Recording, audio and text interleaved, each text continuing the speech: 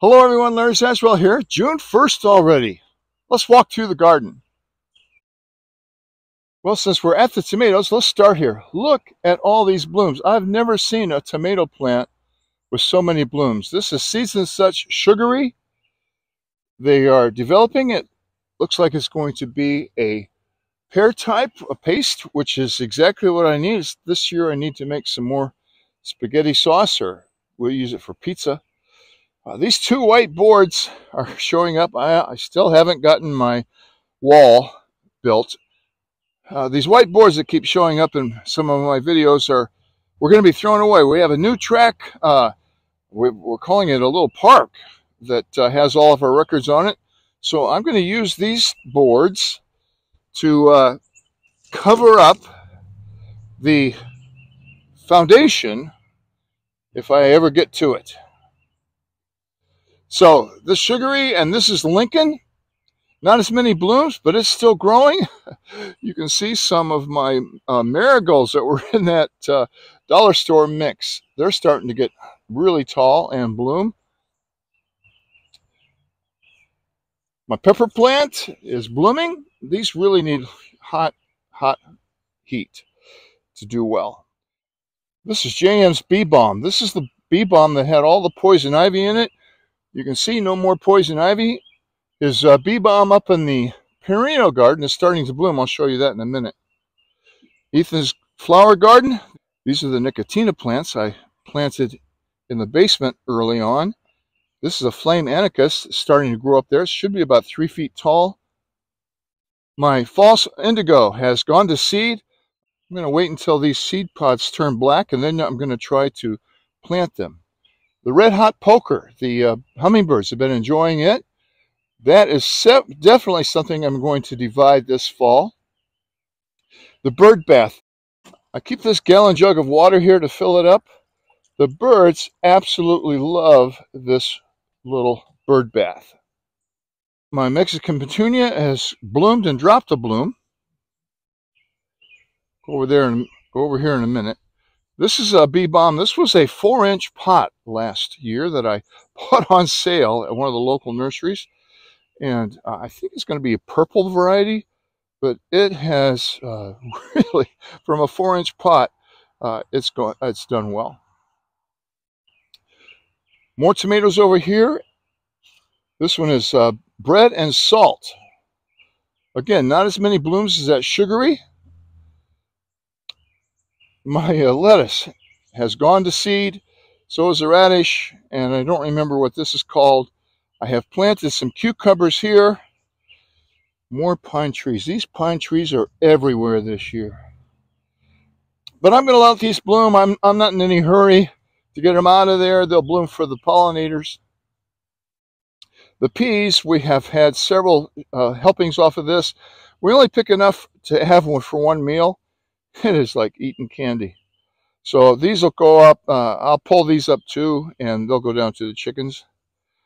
This is the onion crop that will be good for the storage. This tomato plant, Big Beef, not doing great. It's got this uh, problem with the upper leaves. They curl up. I've had that over the years. This was the Vidalia type onion that we plant and use for salads. Strawberry beds are pretty much done. We've had strawberries and strawberries and strawberries. The uh, raspberries are doing well, trying to keep them away from the birds. I, uh, my good friend in uh, Indiana, Jimmy, suggested I get some snakes. Well, I couldn't find any rubber snakes this time of year, so I put some garden hose out here. I, I think they know the difference. Up here in the bluebird house, there's another bluebird nest in there. Uh, I really like the, the uh, baby bluebirds as they come out. They have to be fed by their parents. Down here, the grass we tried to grow last fall is doing well. We let the horses out here about two hours a day. If we're going to be gone all day or going to be late doing chores, we let them out here a little bit longer than that. We're in a rain deficit right now of about an inch, so I have been watering, been watering the garden and the, um, the grass out here. No blooms yet on my canna lily. This is a Jerusalem artichoke that's really doing well. I kind of dug them up by accident uh, this spring, and after I dug them up, I spread them out a bit. The potatoes are blooming. That means there's some fresh potatoes down there.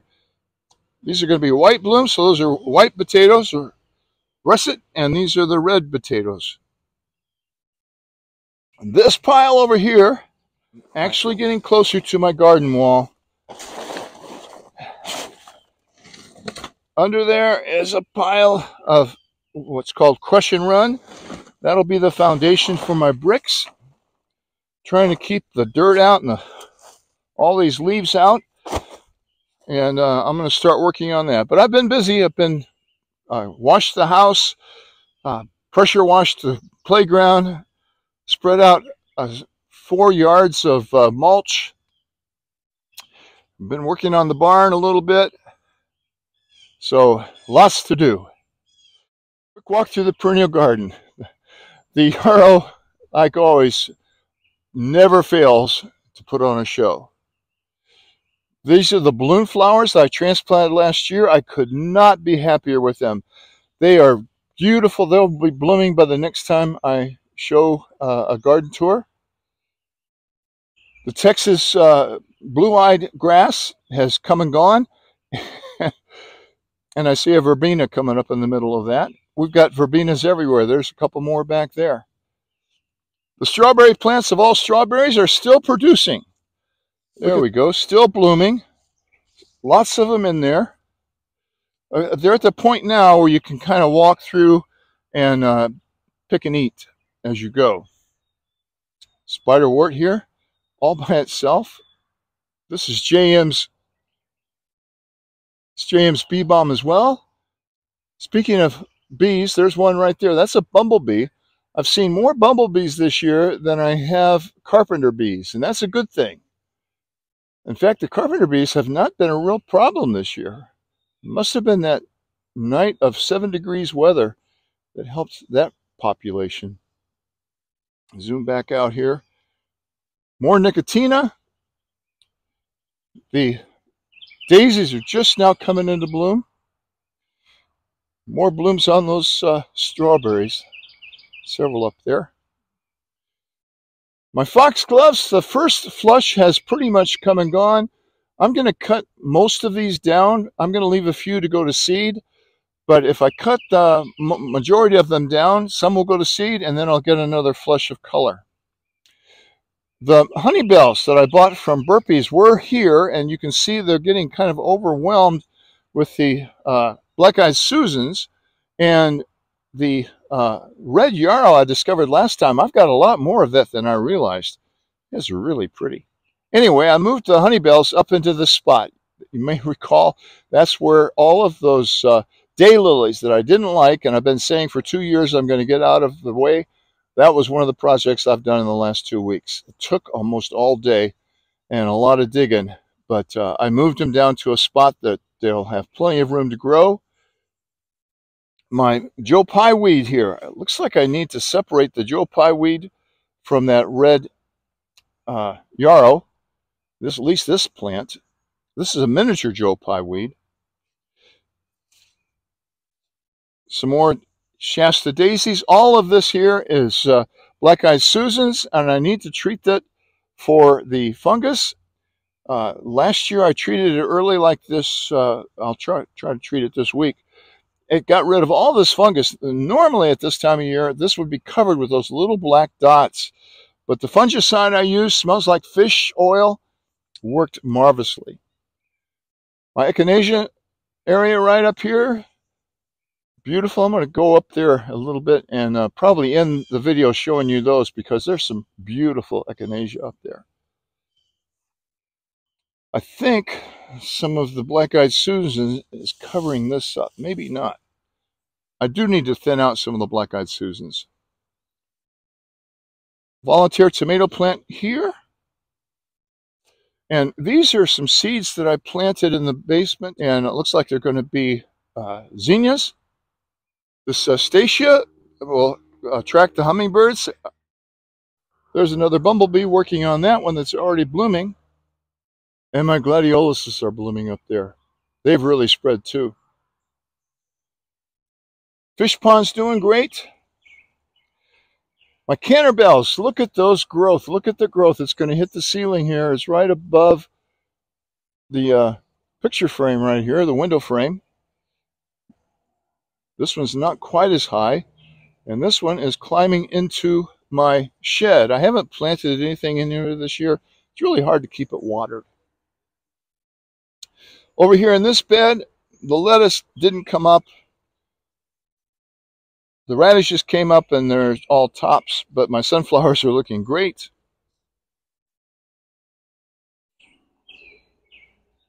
This pepper plant down here is not looking well at all. And I'm not sure why.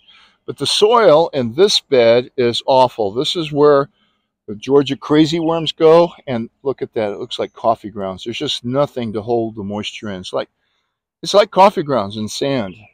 Once I get these walls built, I'll probably go to the Ruth Stout method of heavy, heavy, heavy mulch and see if that'll improve it. But my corn's doing okay. I've got them propped up with some bricks because there's just no soil to hold it. The um, okra here, this is red okra. Okra is a long season crop. And that's why it's good for Georgia here because we have a long growing season. Once it starts producing, though, it'll produce until the frost. These are more of my uh, dollar store marigolds and part of that uh, Burpee marigold mix. I don't know the, which is which. And this is my third pepper plant. I only planted three. We don't use a lot of peppers. I was hoping Ethan was going to come by and help me, but he's got baseball almost every day. I need to get this uh, tree out of here. It's just an eyesore. No lotus blooms yet, but they should be coming soon. Oh, here's Karen's favorite purple raspberries. I'm going to let the, she'll, she'll be through here after she does her chores. I'll tell her that they're there. I like the color of this yarrow. Again, this was about a six inch plot last year. After my last video, uh, I had some questions on this rose and I really didn't know, or I really don't know anything about it. I've had it for 20 years, but I'm pretty sure it's a rambling rose and not a climbing rose because it only blooms really in the spring. There's a little bud on it zoom in on that. There's a little new bud right here, but as you can see, most of it has just come and gone. There are a few really old, like this one, old branches in there that need to be cut out. And that's what I'll do in the next couple of weeks. I'll get my farmer defense sleeves on there and uh, go in there and cut those out and then I'll do month, another major trimming in uh, late December or January. Here are the Tephiophinas. These they did reseed themselves. I didn't plant these this year. Got some phlox in here too. The uh, four o'clocks are here too. I they will overtake your garden if you let them. I transplanted some of JM's bee balm that was up on the hill down here. It was kind of an empty space. The irises are just blooms now. Oh, look at there. I got to zoom in here. Little tree frog down there. I don't use any pesticides, or I try to do um, the herbicides I use is vinegar. I killed these killed these weeds with vinegar. I think it's a seven percent solution I get at the feed store. I I don't trust Roundup anymore. Look at this. This is my bargain at uh, Walmart. Was $17. I think I paid five for it. It's doing great. Another tomato back here. This looks like another uh, sugar sugary because uh, it's got those same size tomatoes on it. So next to the pond, I've got a hibiscus plant here that's got some buds on it. Those will be coming out soon. And behind it, Jerusalem artichokes. A couple of sunflowers I planted back there as well. This is another sunflower I planted. It's going to bloom here soon. And I think we've pretty much gone through the garden. Let's go up to a little better view here of the honey bells. I put a trail camera on here all day yesterday. I haven't checked it yet. I don't know if the hummingbirds visited or not. Some speedwell over here, more nicotiana. Different perspective of the garden right here. I'm not sure what those yellow flowers are. I really like these. They're doing great. These will be ready to divide in the fall as well. I'll use that new auger to dig more holes up here. That way I'll have a better chance of missing all of the daffodil bulbs that are already here. James Balm, it's about three or more, it's over three feet tall. It's over a meter actually. I bought a bleeding heart plant at the nursery the other day. We bought some shrubs to put in the corner of our en entrance, some hollies, because we had some gardenias in there that uh, were just looking awful. And that's another project I've been working on. Way over here, I'll stop and take a picture of the plants I've got going here. That this is a mixed seed plant, but these are the um, hollies we bought. They're supposed to get uh, a couple feet tall and three feet wide. Right here, this is where I've been trying to dig out these gardenias. They're in there really well. They've been in there 20 years and they've kind of run their course. So next time I'll show you what this looks like after I get it ready. Leave you at the top of the hill here today. Beautiful day in Georgia. We need rain, but the garden's looking great. Hope yours is too. Thanks for watching.